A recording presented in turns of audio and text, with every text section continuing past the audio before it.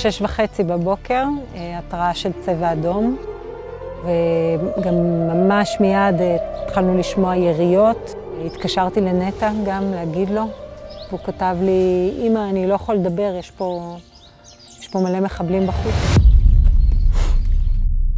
נשארנו פה בקיבוץ חמישה בני משפחה אהובים, והרבה הרבה חברים. זה היה מאוד קשה. זה היו ימים באמת אה, עם הרבה בלבול והרבה כאב והרבה מעט מאוד שינה. יש לי בשביל מה לקום. יש לי שתי בנות שמאוד זקוקות לאימא, שמאוד מתגעגעות לאח שלהם ולסבתא שלהם ולשני הדודים שלהם ולאחיין שלהם, הם מאוד צריכות אותי. ההשפעה על הנפש, על החוסן, אה, היא מהותית לאורך, לאורך כל השנים האלה. למעלה מ-70% מהאוכלוסייה ב, ביישובים שקרובים לגדר מטופלים על ידי חוסן ברמות כאלה ואחרות. כל הילדים שלי בלי יוצא מן הכלל היו מטופלים וגם אנחנו.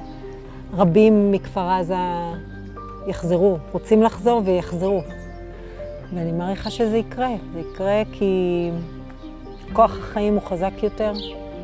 אנשים צמאים לבית, מאוד מאוד מתגעגעים לכפר עזה.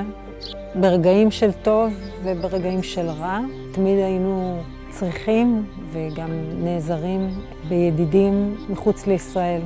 עכשיו אנחנו צריכים אתכם יותר מבכל עת אחרת. אנחנו זקוקים ליד התומכת הזו, שתסייע לנו לקום, לקום מהארץ.